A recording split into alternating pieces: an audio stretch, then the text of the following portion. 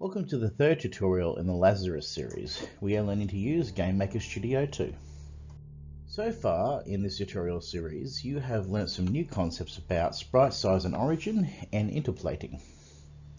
We have also created the objects that has Lazarus moving left and right and Lazarus being squashed by boxes. In this tutorial we're going to finish off those movements and also make sure that Lazarus can't jump two boxes high. Okay, now it's time to put all those um, objects together.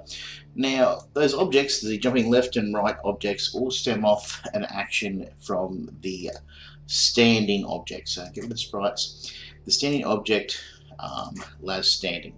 So, basically, when we press right, we want um, Lazarus to react to it. So, and the same way we press left. So, our key um, press is going to be our event and the key press is going to be right. Now, what we need to do here, we need to see if there's what is to the right of Lazarus.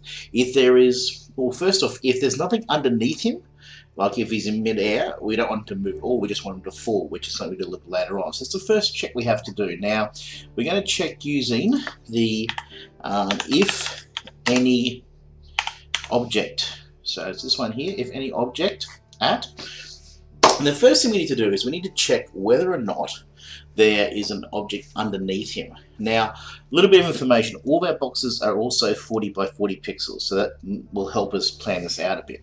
So first off, if is there anything underneath him? So what we're going to do is, well, we're not worried about, worried about X, that's, that's left and right. So below him, we want to see just 8 pixels be enough. 8 pixels relative. Is there something underneath him 8 pixels?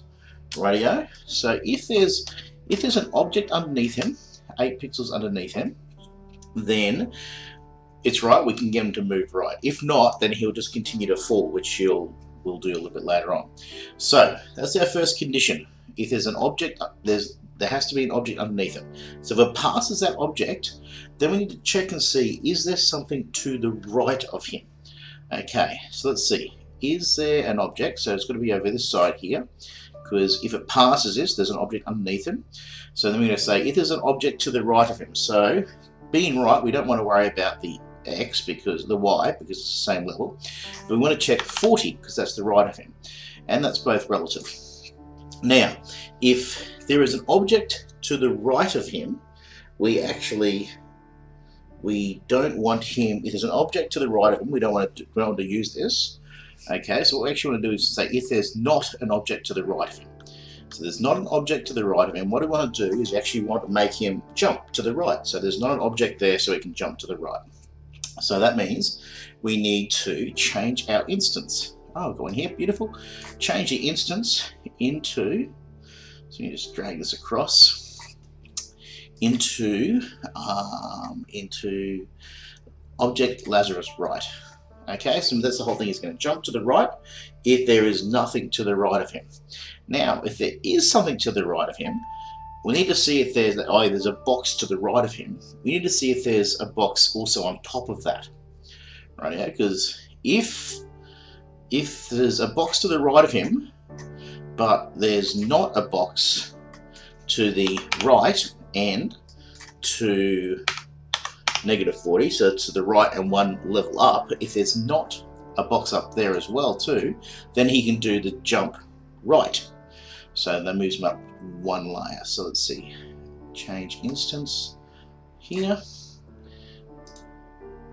and that is Lazarus jump right. Okay, so that is if there is any object. So just Let's scroll it down. So there's a couple of things to observe here. First off, if there's a situation where there is no nothing underneath him, so Lazarus in the middle of the air, he can't move to the right. Even if you're pressing right, he won't move to the right. Um, if if there is an object, if there's no object to the right of him, then you press right and he can just jump right level. Okay. If there is a box to the right of him, but there isn't a box above that, so he can jump up on top of that box. And then, but if there's two boxes to the right of him, he won't pass to either of these, so he'll just stand totally still and not move, which is what we want him to do. So, that's for that one. We're going to do a similar one for the key press left. Okay, so again, we're going to check if there's an object underneath him. Relative, relative. Actually, let's make sure that I made this much relative. Yes, cool. Um, okay, so relative, relative, and we're checking below him, which will be 8 here. Right, and we want to make sure, yeah, we want to make sure that he there's there is something underneath him. So if there is something underneath him, yes, in that case, we then need to check if beside him is empty. So that would be, no, we're talking about to the left now. So that would be negative 40 relative and 0 relative. And if there is not something there, then we wanted to change the instance to jump Lazarus left. Not jump left, just left. Right? But if there is an object if there is an object to the left of him, you then need to check if there's an object, if there's two boxes or just one box. So we check to the left and then also check up one layer.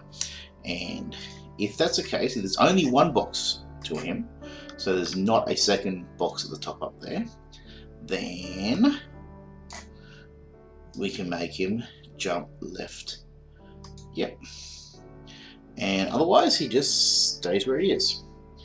Right, yeah. So you know the thing I said up here about both of these, where if if there is nothing underneath him, if there's nothing underneath him, he can't do anything. So what we're going to do now is we're going to have a step event. Now, unlike we've, we've used end step, but this is just steps. It's just somewhere in the tick. Doesn't matter where. It doesn't have to be at the end.